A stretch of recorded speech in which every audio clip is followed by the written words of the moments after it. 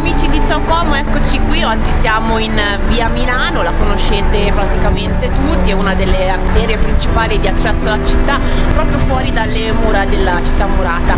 Via Milano però non è sempre stata come la vedete oggi, fu infatti nel 1812 che venne ridisegnata affinché linea retta si arrivasse da San Bartolomeo direttamente a Porta Torre, passando ovviamente da Piazza Vittoria.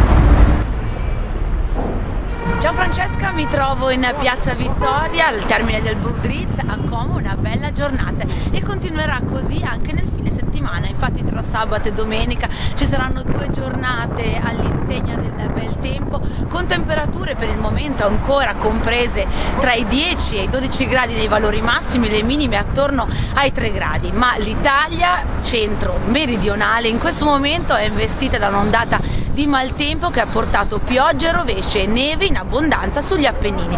È da tenere sotto controllo poi il fine mese perché arriverà l'inverno dopo un autunno che si è protratto oltremodo. Eccoci di nuovo qui all'angolo dedicato ai proverbi comaschi.